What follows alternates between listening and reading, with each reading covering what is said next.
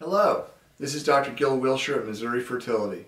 Welcome to our discussion video regarding fertility preservation in women. Uh, now this uh, occurs generally when a woman has a sudden diagnosis of cancer. A woman's going about her, her life, young teenager, uh, finds a lump or a bump or something and finds out, oh my God, I have cancer. So now there's all these uh, diagnostic tests and doctor's visits and all these things.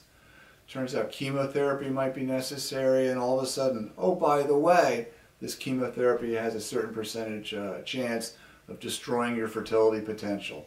A lot of these chemotherapies damage the ovaries, they damage the eggs, and there's a small but real chance a woman may not have any more eggs.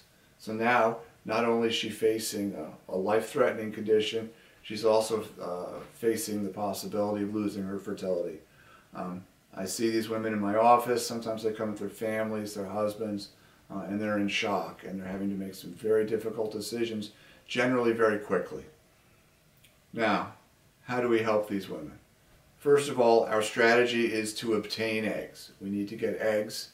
And unfortunately, in women, we can't get them very quickly. It generally takes at least two weeks to develop eggs in the ovary so that we can retrieve them and then have them frozen or turned into embryos, which are then uh, frozen in turn. Uh, the process can be done in as short as two weeks, but once you look at the uh, uh all the details and whatnot, three weeks is a more common uh, uh, time period. Now it is important that eggs be retrieved before a woman starts chemotherapy. This is really crucially important. We work with oncologists and generally we can get the oncologist uh, to give us two or three weeks to get this process done. Now a woman will take medications for about 10 to 12 days and we put her to sleep under a light anesthesia and get the eggs out of her body. Uh, this is where we can sometimes uh, face some other tough decisions. If a woman is young or single, does not have a guy in her life that she wants to have babies with, we will be forced to freeze her eggs.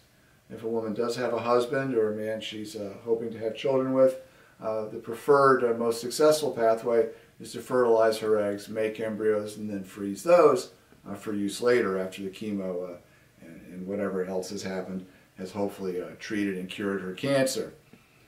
Now, some women come in with an estrogen sensitive cancer, such as a breast cancer.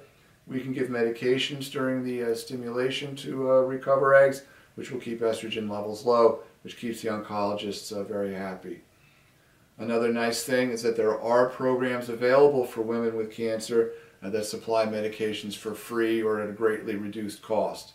One of the big, biggest expenses of this uh, are the medications, and we can get them very rapidly through some very good uh, programs uh, that have been very helpful to us in the past. Um, uh, we keep costs down for this. Um, we understand people are in trouble and we keep costs to an absolute minimum. So hopefully cost should never be a, a, an impediment uh, to having fertility preservation uh, in women.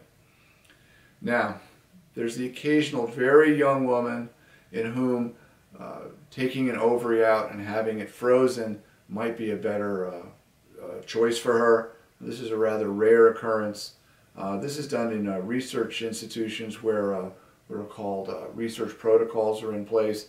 If a young woman has this condition, we would refer to a big city around us and uh, uh, facilitate that. but that's fairly rare. Generally, we do a, a, process very similar to in vitro fertilization to preserve a woman's fertility. Now, you need to realize that these choices are not suitable for everyone. Sometimes a woman just wants to treat her cancer and we'll see what happens with her fertility in the future. Uh, this is very reasonable. For some young women, particularly teenagers, it's just too much. Uh, and uh, um, the, the priority of everyone is just to see the, uh, uh, the, uh, the cancer treated. Um, one also has to realize that, that fertility preservation is not a guarantee of a baby. We are very good at what we do, but sometimes the biology is tricky and it doesn't, the embryos do not result in a pregnancy. Success rates are very high, however, so uh, the uncertainty of success should not hold somebody back from preserving their fertility if that's what they really want to do. So there's a discussion about uh, preserving female fertility. I hope this is helpful to you. This is Dr. Wilshire of Missouri Fertility.